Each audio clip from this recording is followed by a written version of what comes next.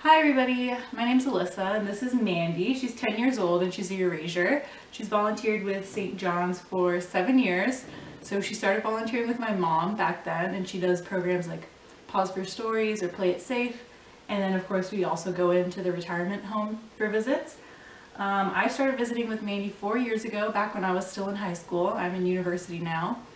Um, yeah, we've been volunteering at the retirement home for quite a while. We're in Aurora, and even though Mandi really misses her visits, um, she's happy that we're all at home because right now we're all social distancing. So I'll show you guys a little bit um, of what Mandi's been doing to keep busy right now. Hey everyone, this is my mom. Like I said, she's been volunteering with Mandi in the therapy dog program for seven years. So we all love to go on walks together during this time to stay active.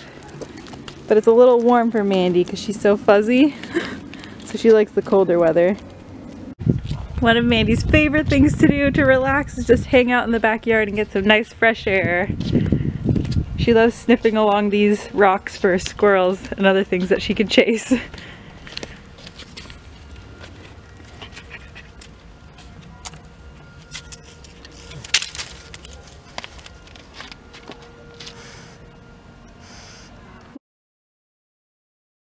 Maybe wave.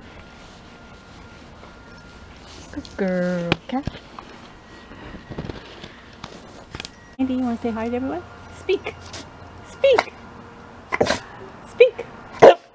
Good girl. All right, Mandi, bang, bang, bang, bang, bang. okay, good girl. Mandi, wait, roll over.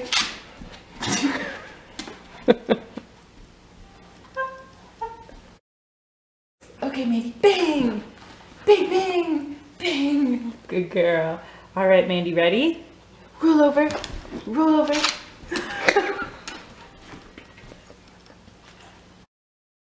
All right, Mandi, bang, bang, bang. All right, good girl. Mandi, spin, spin. Good girl. All right, sit.